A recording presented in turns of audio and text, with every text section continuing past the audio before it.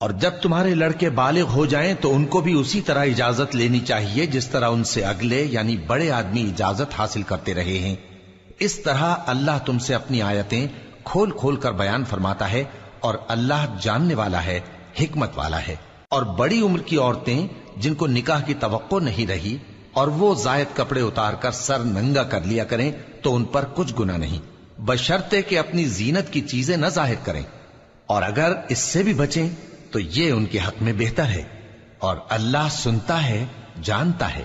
نہ تو اندھے پر کچھ گنا ہے اور نہ لنگڑے پر اور نہ بیمار پر اور نہ خود تم پر کہ اپنے گھروں سے کھانا کھاؤ یا اپنے باپ دادا کے گھروں سے یا اپنی ماؤں کے گھروں سے یا بھائیوں کے گھروں سے یا اپنی بہنوں کے گھروں سے یا اپنے چچاؤں کے گھروں سے یا اپنی پھوپھیوں کے گھروں سے یا اپنے ماموں کے گھروں سے یا اپنی خالاؤں کے گھروں سے یا اس گھر سے جس کی کنجیاں تمہارے ہاتھ میں ہوں یا اپنے دوستوں کے گھروں سے، اور اس کا بھی تم پر کچھ گنا نہیں کہ سب مل کر کھانا کھاؤ یا جدا جدا۔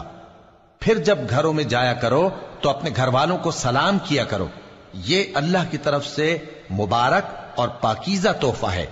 اس طرح اللہ اپنی آیتیں کھول کھول کر بیان فرماتا ہے تاکہ تم سمجھو۔ مومن تو وہ ہیں جو اللہ پر اور اس کے رسول پر ایمان لائے، اور جب کبھی ایسے کام کے لیے جو جمع ہو کر کرنے کا ہو، پیغمبر کے پاس جمع ہو تو ان سے اجازت لیے بغیر چلے نہیں جاتے۔ اے پیغمبر، جو لوگ تم سے اجازت حاصل کرتے ہیں، وہی اللہ پر اور اس کے رسول پر ایمان رکھتے ہیں۔ سو جب یہ لوگ تم سے کسی کام کے لیے اجازت مانگا کریں، تو ان میں سے جسے چاہا کرو، اجازت دے دیا کرو۔ اور ان کے لیے اللہ سے بخشش مانگا کرو۔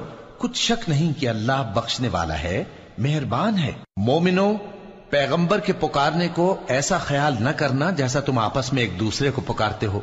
بے شک اللہ کو وہ لوگ معلوم ہیں جو تم میں سے آنکھ بچا کر کھسک جاتے ہیں۔ تو جو لوگ ان کے حکم کی مخالفت کرتے ہیں، ان کو ڈرنا چاہیے۔ کہ ایسا نہ ہو کہ ان پر کوئی آفت پڑ جائے یا تکلیف دینے والا عذاب نازل ہو۔